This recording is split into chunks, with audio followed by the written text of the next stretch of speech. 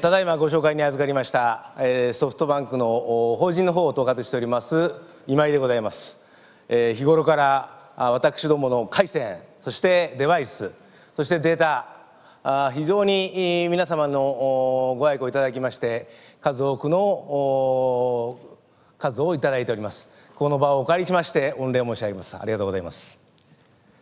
えー昨日から、ソフトバンクワールド基調講演を含め、えー午後には個別のミーティングそして、えーあと展示それぞれ皆様のご期待に添えるようにやってまいりました、えーもう回数もですね今日で、え今回で6回目ということでございます。私実はあの最初の段階から法人の方を担当しておりましたんですが2年ほどマーケティングの方に移っておりましたが久方ぶりにこの法人に戻ってまいりましてこの会を催すことができました。今回はですね私いろんな企業様に伺っている中で必ずどの企業様からも IoT はどう AI はどう AI はどうだろうかっていうようなお問い合わせが来ておりますので、え今回のソフトバンクワールドこういったことに焦点を絞って、え皆様にお伝えできたらとそういうふうに思っております。まあ、あの基調講演の最後でございますのでソフトバンクと作る新たな IT 戦略ということで、えー少しお時間をいただければとそう思っております。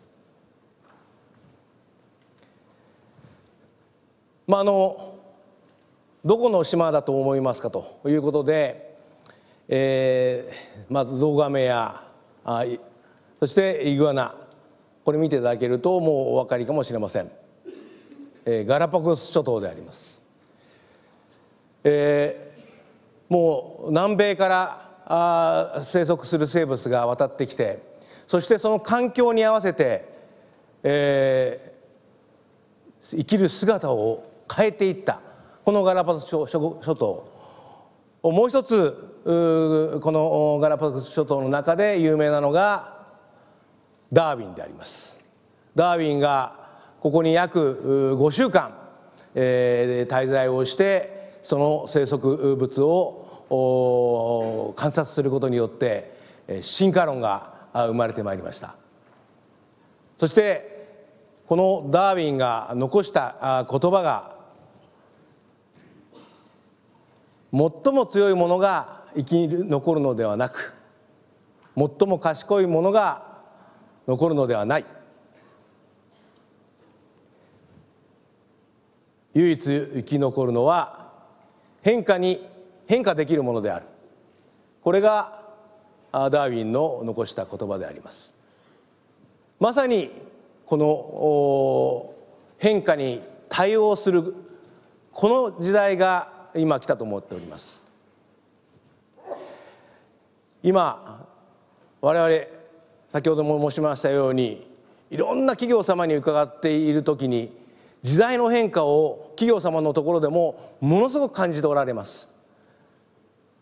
テクノロジーはどんどんどんどん高速でまあ進化している。そんな時にテクノロジーの進化止まらないですね。これから先もどんどんどんどんスピードを速めていくと。やっぱり重要なのは変化への対応であるとそう思っております。そこでソフトバンクの法人部隊としては我々のまあモットーですね。何を目指していくか。まさに先ほどのダーウィンであります。我々が注力すべきテクノロジー領域としてダーウィンという言葉を選びました、えーちょっと語呂合わせ的でもあるんですがちょっと見てください。ダーウィンの D はデジタライゼーションであります。そして AI そしてロボット。まあ今日も出ましたけど RPA もそうです。ワイヤレス。そして IoT そして次にネクストイノベーションが生まれてくると。いうことではないかと。いうことでここに注力しながらソフトバンク自体がこのダーウィンの心持ちをきちっとつかみながら目指していくことができるだろうか。なおかつ我々がお客様に対してこのダーウィンを提供することができるかどうか。これを最重要項目として目指していきたいとそういうふうに思っております。まあ、今日はですねあのこの AI ですとかセキュリティもそうですし IoT も今あ宮川専務の方で話をしてもらいましたので実はあのこの2つに注目してお話を申し上げたいと思っております、えー、デジタライゼーションそしてロボットであります、えー、デジタライゼーションの部分については実はあのここ2年私あのマーケティングを担当してまいりましたのでまさにえー、このデジタライゼーションが重要でありました、えー、これ、えー、見ていただくと分かるんですけどジャスティン・ビーバー、えー、私どもの広告をこの春に、えー、打ちました、えーまあ、学生さん向けのお企画の部分ですね。でソフトバンクってお父さんの犬がいてそれで家族がいてっていうようなことでイメージされてるんですけども、まあ、学生さんにはなかなかこう通じない部分もあるかなと思って、え、ジャスティン・ビーバーを起用したんですけれどもその時にテレビの CM だけではなくて、え、デジタルマーケティングをどうやって活用していくかということが非常に重要でありました。テレビといわゆるウェブ両方を兼ね備えながらお客様にどう訴求をしていくかということであります。実はあのデジタルマーケティングということでいきますともうウェブを使ったデジタルマーケティングどの企業様も皆さんやっておられるんじゃないかと思います。まあオンラインの世界でいくとまあどの皆さんも検索して、えー、ゴルフが好きでゴルフの動画を見ている人には、え、ゴルフの広告がポコッと出てくるんですね。まあそのぐらいは実を言うと皆さんも認識してあどのウェブサイトに広告を出したらいいかなということはきっと企業の皆様お考えになっていると。ただしそのウェブサイトの訴求が実際のリアルのお店に来てくれるかということを定量的に分かっておられる企業さんっていうのはなかなかいないんじゃないかと思います。クーポンを出してそのクーポンを後から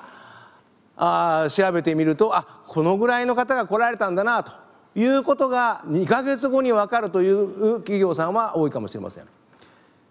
ただし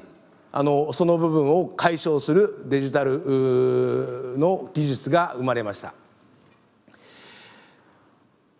ウェブから来店までリアルな行動を可視化するそういうサービス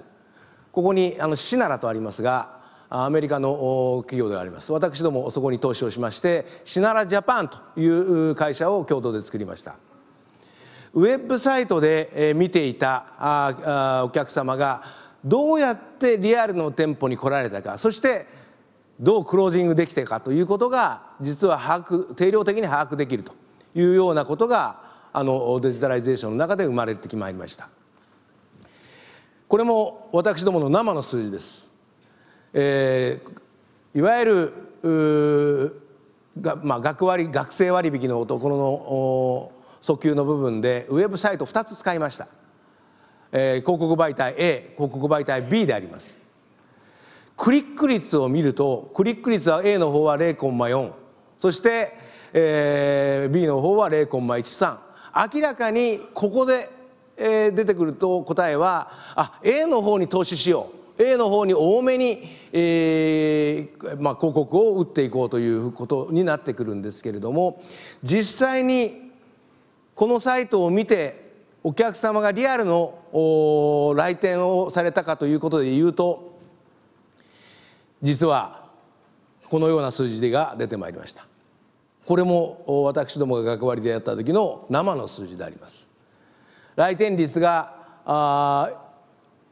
クリック率が高いにもかかわらず1.17ということでありますのでクリック率イコール高さあの来店率ではないということであります。さらに来店者の行動を例えば最後来店された方がどういう経路をたどって来店されたかということも実は把握できるようになりました。来店された方は実は最後クロージングした時は2回目の来店だったということも分かりました。その前に行くと1回迷われてるんですね。1回来店されたんですがそこでは話がクロージングできずに、えー、まあウェブサイト家に戻ってウェブサイトでやっぱり比較表を見てたりするんですね。それで腹腹決めができて最後お店に来ていただけると。まあそんなようなことが実は定量的に見えてくる。例えば何歳ぐらいの女性は40代の女性は来店する時にどういう行動をするのか。例えば20代の女性であれば来店する時に何をウェブサイトで一番注目しているのか。そういうことも実はもう分かるようになってまいりました。そして来店までのリードタイムも見えるようになりました。キャンペーンをこうまあ我々打つわけですけれどもキャンペーンを打った後に何日後に来店されるかというようなことも実を言うと商品によって違うんですけれども分かるようになってまいりました。そして広告配信のタイミングを変えることができる。まあ、変えてそれの最最高の効果を上げるにはどうしたらいいかということも見える化し始めたということであります。そして例えばこういう層先ほど言いましたように25歳の男性あと40歳の女性これによってまあ属性によって、えー、広告の表示回数も違ってくるんですね。表示回数が一番効果がある、まあ、あるターゲットにとっては何回ぐらいがいいか今ここにあるのは10回ぐらいがいいというのが出てますが10回以降の部分は無駄なコストになってるんですね。我々が広告を訴求するときにやっぱり広告と広告のコストとその実際の効果をちゃんと見極めてまあやらないと無駄なコストがどんどん生まれてくるというようなことであります。まあ、こんなことがですねマーケティングを2年間やってきた時に非常によく分かった段階ただこれももう ICT や IoT ワイヤレスの技術を使ってつかめるまあ技術あの結果なんです。こういうものを我々今採用していると。いうことが一つデジタライゼーションの大きな部分であります。そしてもう一つ、えー、ロボットとあと RPA RPA はあの宮内の講演でも出てまいりましたがそれを含めて事例であります。これもですねソフトバンクショップの事例我々の事例でありますがソフトバンクショップにおいて商品の在庫が切れている。そして例えば販売員の手が開かない。そんな時に販売機会のロスを生み出しています。それを回避する方法をやはり、えー、検討しておりました。まあその部分が技術のテクノロジーのところで回避できるということが最近またあ出てまいりました。今あのソフトバンクショップには全て実はペッパーを入れております。ただペッパーだけ入れていてもですね着用性でこう皆さんどうぞっていうところだけが今までできていたんですがもう一歩バージョンアップすることができるというのが大体確証を得ました。RPA を使ってであります。各店舗の在庫状況あとウェブストアでの在庫状況を両方見てお客様の要望に応えることができるんじゃないかなという発想で今実験に入ろうとしております。こんなことであります。ちょっと動画をご覧ください。いらっしゃいませ。何かお探しですか？スマホケース探してるんだけど。在庫お調べしますよ。実はこのペッパーロボティックプロセスオートメーション RPA と連携しています RPA が店舗在庫と Web ストアの在庫の両方を検索しその結果をペッパーがお客様にお伝えします。まずは RPA が店舗の在庫を検索します。店舗の在庫がなかった場合 Web ストアの在庫を検索しに行きます。こちらには在庫があるようです。ウェブストア誘導用の QR コードを自動生成します。こちらの店舗には在庫がなかったのですがオンラインショップの方には在庫がありました。購入先の QR コードを作成しましたのでよかったらこちらからご注文ください。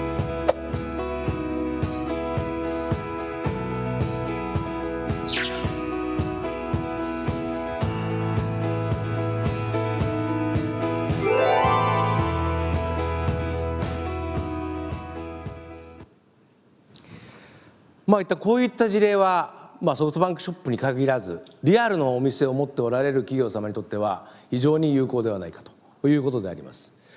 えー、今日は RPA の話題が随分出ました本日プレスをさせていただきましたが、えー、企業の皆様に、えー、RPA のサービスを提携するために私ども RPA ホールディングス様とこの度業務提携をいたしました国内の導入実績ナンバーワンのビズロボを使っておられる企業であります。それとソフトバンクの3,000人の営業が組んで皆様にこういった RPA のサービスを提供していくというようなことをスタートしてまいります。さてこのダーウィン。ダーウィンのそれぞれに関して昨日今日といろいろご紹介してまいりましたがこの部分を企業の皆様に活用していただきたい。そのためにソフトバンクワールドってあると思っております。そしてダーウィンの活用を我々営業の人間が皆様にお伝えしていくというようなことをやってまいりたいと思っております。ダーウィン活用のワークショップ。皆様とご一緒にこのダーウィンを使ってみていただく。なおかつソフトバンクの事例を聞いていただく、まあ、そんなことをやりたいと思っております。3日間のワークショップであります、えー、もちろん私ども無料でこれを展開します。まずソフトバンクの事例を紹介させていただく。そしてお客様のそれぞれの企業に課題をお聞きしながらそのダービーの部分でそれ何が効いてくるかということをディスカッションさせていただく。そして最後に ROI まで出してこのぐらいいけるんじゃなかろうかということを机上でまとめていきたいとそういうふうに思っております。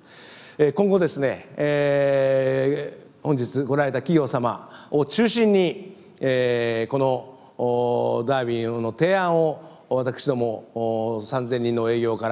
らお伝えしに参りたいと思っておりますのでぜひともよろしくお願い申し上げたいと思います。ソフトバンクはまあ、変化に先ほど冒頭に申しましたがやっぱり環境そして情報のスピードに適応していくために ICT 環境を皆様とご一緒に作ってまいりたい。そしてこの環境をいち早くご提供申し上げることをお約束して、え私の最後のご挨拶としたいと思っております。本当に多数の方々がお見えになっていただきまして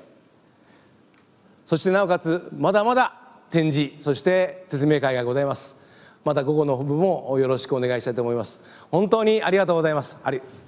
よろしくお願いします。